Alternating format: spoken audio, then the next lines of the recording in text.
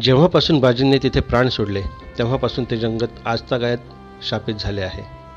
इथे येणारा एकही माणूस आजपर्यंत जिवंत माघारी गेला नाही. आज शंभर वर्ष होऊनसुद्धा बाजी जिवंत आहे. बाजिंदीचे भूत या जंगलात भटकते आहे. केवळ आम्हीच नव्हे तर मोठमोठ्याले सत्ताधीशसुद्धा बाजिंदच्या जंगलात पाऊल ठेवत नाहीत. आणि आज केवळ तुमच्या अल्लडपणामुळे एका भयानक संकटात आपण सापडलो आहोत. आपण आज बाजींच्या जंगलात आहोत. आपले मरण नक्की. सावित्री मोठ्या चिंतेत ही सारी कथा खंडोजीला सांगत होती आणि तो लक्षपूर्वक ऐकत होता. हुंदका देत रडत असणाऱ्या सावित्रीच्या खांद्याला धरत खंडोजी निर्धारी शब्दात बोलला सावित्री रडू नको. हा खंडोजी तुझ्यासोबत असताना बाजीन काय? साक्षात यम जरी आला तरी त्याला चार हात करावे लागतील या खंडोजीशी. शिवछत्रपतीचा धार करी आहे मी. आम्हाला भूते लागत नाहीत उलट भूतानाच आम्ही लागतो.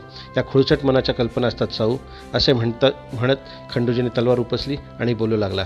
आता हा बाजीन व त्याचे झपाटलेले जंगल काय आहे याचा उलगडा केलाच पाहिजे असं म्हणत तो उठला. त्याच्या नजरेत त्याच्या विचारांचा ठामपणा होता. दृढ निश्चय होता तो स्वतःच्या मनगटावर आणि चित्तात होते ते शिवछत्रपती. हे हिंमत ही ताकद त्याच्यात आली होती शिव शिवछत्रपती महाराजांच्या उत्तुंग जीवन प्रकाशामुळे. केवळ खंडोजीच नव्हे त्याचे सारे सवंगडी उरात अशी जग जिंकायची उमेद ठेवत होते.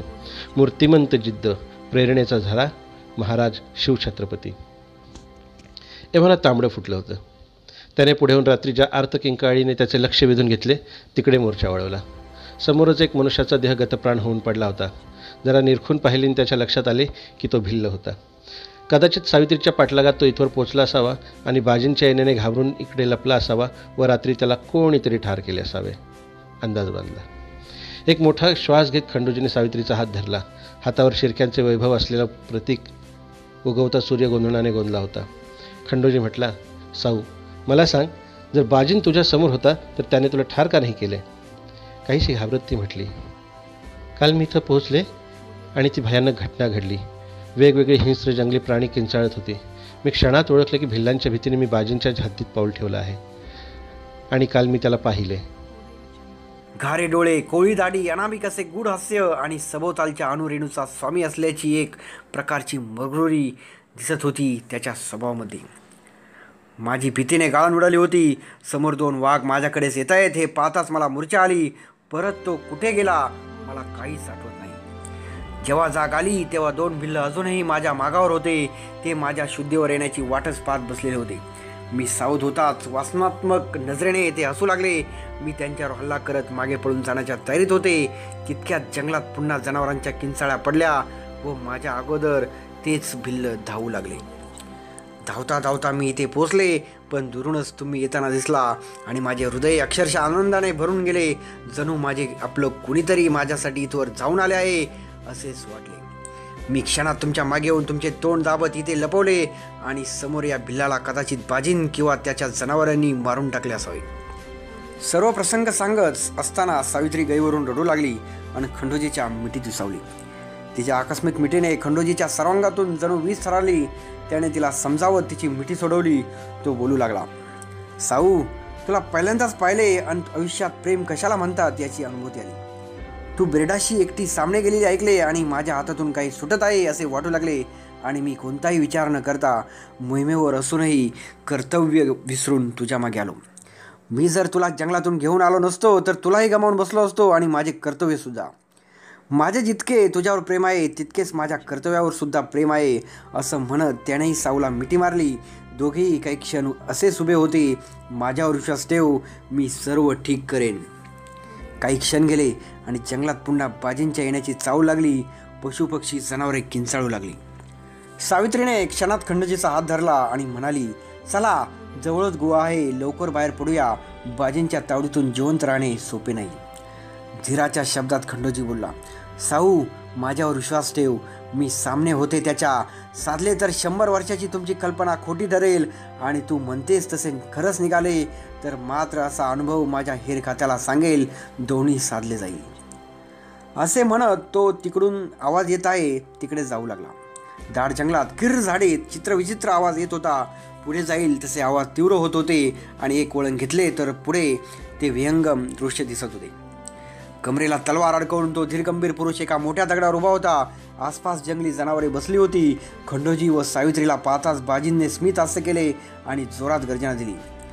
स्वागत आहे योद्ध्या तुझे मी माझ्या जंगलात स्वागत करतो असे बोलत तो दगडावरून खाली झेपावला. खंडोजीला काही समजेना काय घडत आहे ते हे जंगल भूत असेल तर हवेत का उडत नाही? जर नाही तर शंभर वर्ष जगलेच कसे? डोक्यात प्रश्नांचे काऊर माजले सावित्रीच्या तर हृदयाची गालमेल सुरू झाली. प्रसंगाचे गांभीर्य राखत खंडोजीने तलवार समोरून चालत येसला येत असलेल्या बाजींवर रोखली. ते पाहताच पक्षी कीटक आणि प्राण्यांनी पुन्हा जोरात आवाज वाढवला. वाघांच्या डरकाळ्या फुटल्या पण शांत बाजींनी हात वर केला तसे सर्व प्राणी शांत झाले. त्याने एका मोठ्या आवाजात एक गुड आवाज काढला. तो एक सांकेतिक आवाज होता. क्षणात सारी जनावरे पशुपक्षी तिथून निघून जाऊ लागले. जंगल एकदम मोकळे बसू लागले. समोर चालत येत असलेल्या बाजींनी पुन्हा दोन्ही हात वर केले आणि डोळे मिटून पुन्हा एक गुड आवाज दिला- केला. क्षण दुसरा क्षण जंगलाच्या बाजूने शेकडो घोडेस्वार हातात तलवारी भाले घेऊन हजर झाले. सारे जंगल स्वारांच्या गर्दीने भरून गेले. त्यातला एका स्वाराच्या हातात भव्य असा परमपवित्र भगवा ध्वज होता. खंडोजीने हातातील तलवार टाकली तो फुटफुटला भगवा जरी पटका ज्याच्यासाठी हजारो वीरांनी आयुष्याची होळी करून रक्त सांडून हिंदवी स्वराज्य शिवाजी महाराजांच्या नेतृत्वाखाली निर्माण केले असा स्वराज्याचा भगवा ध्वज त्या स्वराच्या हातात पाहताच खंडोजी कमरेत झुकला. एक दोन तीन मानाचे तीन मुजरे त्याने त्या परम पवित्र ध्वजाकडे पाहून केले. खंडोजीने एक दीर्घश्वास सोडला आणि त्या चौघांकडे एक दृष्टिक्षेप टाकला. सर्जा सकाराम नारायण आणि मल्हारी गंभीरपणे खंडोजीचा भूतकाळ त्याच्याच तोंडून ऐकत होते. येवाना खूप दूर आपण चालत आलो आहोत याची जाणीव त्या पाचही जणांना झाली. सकाराम बोलला खंडोजीराव तुमची कथा लयच भारी वळणावर गेली आहे गाड्या. जित्रा पाच आवाज मी बळकवता येतात मी मातूर नवालच आहे. नवाल? नवाल म्हणे मा आश्चर्य होते ती. खंडोजी बोलून गेला. सरजामध्येच थांबून सकारामला बोलला. कारभारी ही कथा ऐकत लय लांब आलोय आपण. निदान खंडोजीराव निदान सांगा तरी अजून कितीसा दूर जायचंय मी खंडोजी बोलला झालं. अजून एक दोन कोसांवर जंगलात एक गुहा लागेल तिथे पोहोचला की आमचे वस्तात काका भेटतील. तिथे तुम्हाला पुढे शिवाजी महाराजांच्या खासगीत घेऊन जातील आणि तुमचे काम मार्गी लागेल. यावर मल्हारी बोलला वस्तात घेऊन जातील म्हणजे तुम्ही नाही का येत सोबत? खंडोजीकडे पाहत मल्हारी बोलला मी नाही येऊ शकणार गड्यांनो माफ करा. मला माझ्या कर्तव्यात कसूर नाही करता यायची. मी मोहिमेवर असलेला शिपाई गडी अजून मला सावित्रीला शोधायची आहे. पण तुम्हाला मी वाट दाखवतो गोयची तिथं गेलात की मी सावित्री तुम्हाला भेटला होतो हे सांगू नका काकांना. विनाकारण आमची काळजी करत बसलेले असतात. उलट त्यांना सांगा खंडोजी आणि सावित्री आयुष्यभर स्वराज्य आणि भगव्यासाठीच जगतील आणि त्यासाठीच मरतील. खंडोजी खिन्नपणे बोलला पण नकाच बोलू त्यांना की मी तुम्हाला इथवर आणले आहे. यावर सकाराम बोलला अहो पण ते विचारतील ना की एवढ्या गुप्त वाटेने तुम्ही कसे आलात ते? थोडा वेळ शांत राहून खंडोजीने त्यांच्या दंडावर बांधलेली चांदीची पेटी काढली आणि सकारामच्या हातात देत बोलला वस्तात काका काही विचारायच्या आत ही पिटी त्यांना दाखवा आणि परवलीचा एक शब्द सांगा त्यांना. चंदन चांदणं सकारामने ती पेटी जवळ घेतली आणि खंडूजीकडे पाहत बोला बरं मग आम्ही चौघेत जाऊन येऊ म्हणता उस्तादांना भेटायला. होकाराती मान हलवत खंडूजी बोलला होय सकाराम तुम्ही तुमची टकमकाची समस्या बोला त्यांना. ते लगेच तुम्हाला खाजगीकडे पत्र देऊन रवाना करतील. तिकडे गेला की तुम्हाला छत्रपती शिवाजी महाराजांना भेटायला मिळेल आणि तुमची समस्या कायमची सुटेल. हे ऐकताच दोघांच्या चेहऱ्यावर आनंद ओसळून वाहत होता.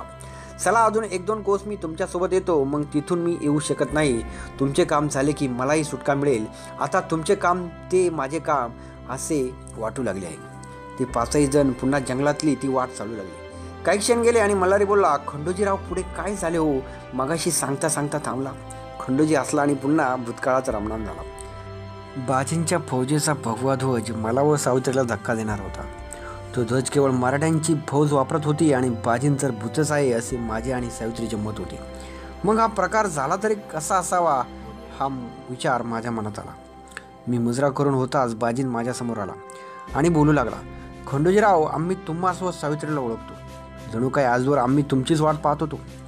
सावित्री काल तुझ्या मागे भिल्ल होते आणि तू इथे आलीस तेव्हा तुझ्या हातावर शिरक्यांचे चिन्ह पाहतास मी समजलो की तू शिरक्यांची सावित्री आहेस. आणि खंडोजी तुम्ही बहिर्जी नायकांच्या खास मर्जीतले हे सर्व ऐकताच खंडोजी व सावित्री थक्क झाली. आश्चर्याने ते बाजींकडे पाहू लागले. खंडोजी बोलला पण तुम्ही कोण आहात? शंभर वर्षे झाली बाजींच्या कथेला. तुम्ही भूत आहात? यावर हसत बाजीन बोलला भूत? होय जगासाठी आम्ही भूताची फौज आहोत. भूत म्हणून जगण्यातच आमचे खरे वैभव आहे पण आम्ही भूत नाही. तुमच्यासारखीच आम्ही माणसे आहोत. आम्हालाही शंभर वर्ष ज्या गोष्टीसाठी असे जीवन स्वीकारले त्यातून मुक्ती पाहिजे खंडोजीराव. म्हणूनच आम्ही आजवर तुम्हा दोघांची वाट पाहतोय. काय? आमच्या दोघांची वाट पाहताय? खंडोजी आश्चर्याने बोलला. मला खरोखर इथे काय घडते सांगा. तुम्ही आमची वाट पाहता याचा काय अर्थ? मला जाणून घ्यायचे आहे सर्व. बाजीन शांतपणे बोलू लागला. त्या दिवशी हुसेन खान व त्याच्या फौजेने केलेली गद्दारी चंद्रगडच्या विनाशाला कारणीभूत ठरली होती. नूरजहा आणि बाजीन दोघेही गतप्राण झाले होते. चंद्रगडच्या जंगलातील झाडून सारे प्राणी हुसेन खानाच्या फौजेचा बळी घेत होते. चंद्रगडचे वैभव जळून खाक झाले होते. जुगस उगवला. साऱ्या चंद्रगडची मसनवाट झाली होती. कोणी जिवंत नव्हते. ठाई ठाई गतप्राण झालेले वीर दिसत होते. तितक्याच एक पोरगा सावळा मुलगा जखमी अवस्थेत बाहेर पडला. त्याचे सूर्यकांत नाव. चंद्रगडच्या सरदेसाई घराण्यातला त्याच्याशी जन्म. बाजींचा चुलत भाऊ बाजीन म्हणजे सारा चंद्रगडची शान होती पण आता सर्व संपले होते. तो मुलगा हिलकावे खात बाजींला शोधू लागला. रात्रीच त्याची लवलवणारी तलवार त्याने पाहिली होती दुरूनच ती चमकली आणि त्याने ओळखली की बाजीन इथेच आहे. काळजातून आरपार गेलेला बांध्याने त्याने ताकदीने उपसला. रक्ताचा धबधबा सुरू झाला आणि एक आर्त किंकाळी फुटली. सूर्यकांतने जाणले की बाजीन जिवंत आहे.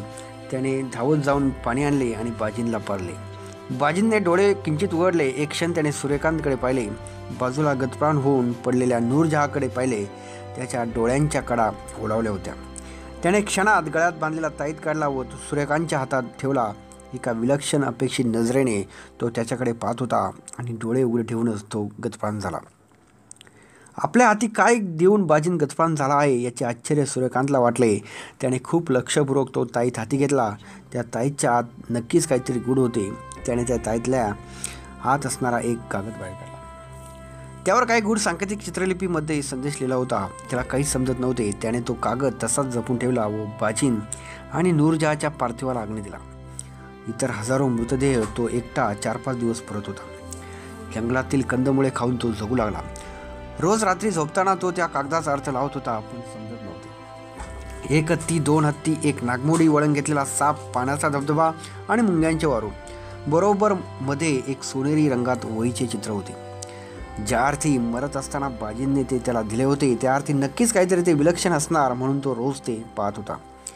एके दिवशी तो जंगलात फळे कंद गोळा करत होता. आणि पाठीमागून वाघाची डरकाळी त्याच्या कानावर पडली. भीतीने श्रावंग थरारले चुकून आपण वाघाच्या परिसरात पाऊल ठेवले असावे. त्याने त्वरित तिथून जाण्यासाठी मागे वळणार. इतक्याच वाघाचे ते प्रचंड दूर समोरच उभे होते. त्याला पाहता सूर्यकांत जीवाच्या आकांताने धावू लागला आणि धावता धावता तो एका ओढ्यावर बांधलेल्या लाकडी सेतूवर चढला आणि कडाकड आवाज करत तो सेतू तुटला. तो ओढ्यात पडला आणि पोहत किन ओढ्याच्या किनारी लागला. दमखात तो बसला होता. तेव्हा त्याच्या हातात एक लाल भडक मुंगी चावली. एक दोन तीन चार दहा हजारो मुंग्या तिथे होत्या. जणू ते जंगल मुंग्यांचे होते. त्या मुंग्यांतून जायला एकच वाट होती.